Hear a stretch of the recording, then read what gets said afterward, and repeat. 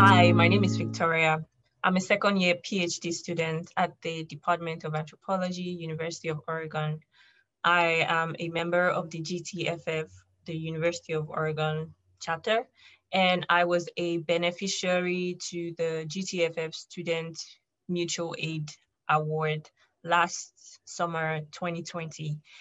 This award came in at a period where I was in need of financial assistance in order to um, renew my passport and the fees attached to it. As an international student here in the University of, in America and the University of Oregon, I'm required to have a valid passport and my passport was expiring in the pandemic and I had to travel. There was a sudden need to travel all the way to Atlanta to um, you know, renew my passport and there were lots of fees attached to it.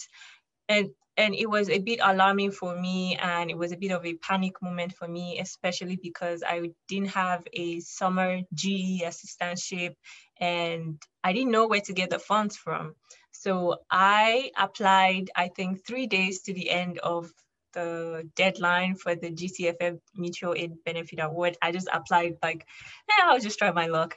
And um, about a week later or so, I got an email saying I was one of the beneficiaries. And I was super stoked because this was a huge relief to me because I could get the flight tickets to travel to the Nigerian consulate in Atlanta to renew my passport. I could pay all the fees attached to it and I could stay resume my duties over the fall assured that I was not breaking any immigration rules or anything, you know, just continue my with my duties with a certain peace of mind that I had. So I'm very grateful for the GTFF Mutual Aid Benefit Award and I'm grateful for the union in general for looking out for their members. Thank you.